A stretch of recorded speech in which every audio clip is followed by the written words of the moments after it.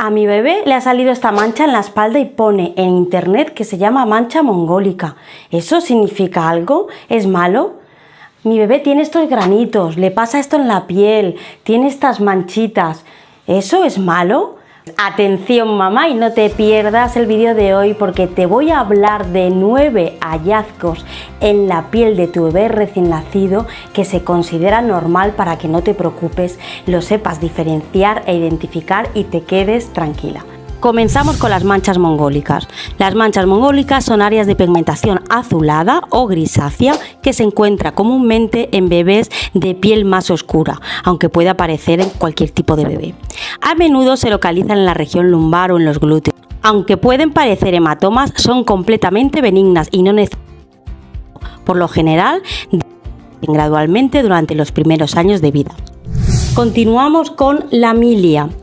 La milia son pequeñas perancias blancas que suelen aparecer en la nariz, mejillas, frente e incluso en el cuero cabelludo del recién nacido. Estas son quistes de queratina que se forman en los folículos pilosos. Aunque puedan preocupar a los padres, las milias son inofensivas y generalmente desaparecen por sí solas en unas pocas semanas sin necesidad de tratamiento. Seguimos con el eritema tóxico del recién nacido, que no es más que una erupción cutánea común que puede aparecer en cualquier parte del cuerpo del bebé, excepto en las palmas de las manos y las plantas de los pies. Se manifiesta como pequeñas protuberancias rojas rodeadas de un halo de piel más pálida. Aunque su causa exacta es desconocida, se cree que está relacionada con la reacción del bebé a su nuevo entorno. Esta erupción es completamente benigna y desaparece por sí sola en unos pocos días sin necesidad de tratamiento.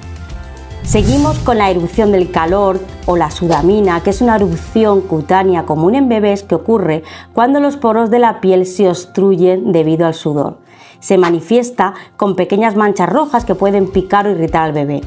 Esta erupción suele aparecer en áreas donde la piel está en contacto cercano con la ropa, como el cuello, el pecho, la espalda y la zona del pañal. Mantener al bebé fresco y seco y vestirlo con ropa transpirable puede ayudar a prevenir esta erupción y aliviar las molestias si ya ha aparecido.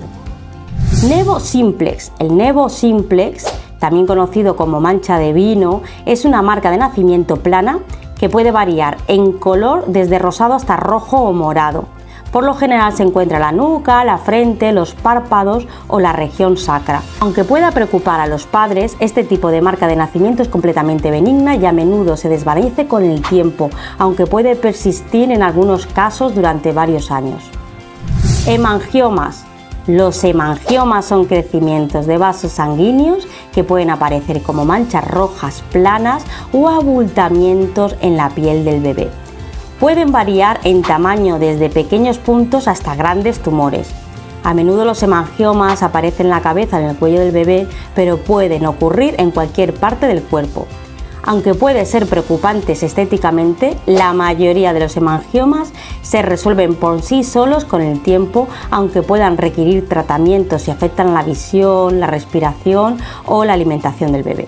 Acrocianosis. La acrocianosis es una condición común en los recién nacidos que se caracteriza por la aparición de las manos y de los pies de color azul o morado debido a la falta de oxigenación en la sangre en estas áreas.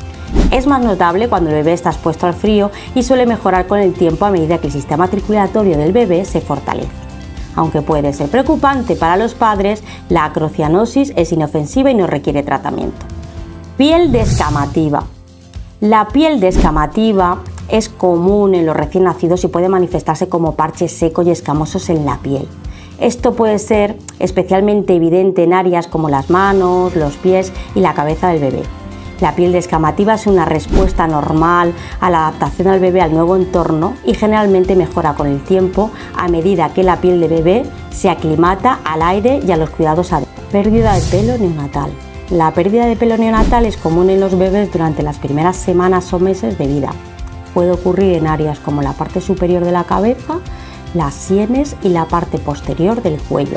Esta pérdida de pelo es temporal y se debe a los cambios hormonales en el cuerpo del bebé después del nacimiento. El cabello perdido suele volver a crecer en unos pocos meses. Y con esto damos terminado el vídeo. Aquí te dejo otro vídeo sobre los cuidados del bebé que seguramente te interesa.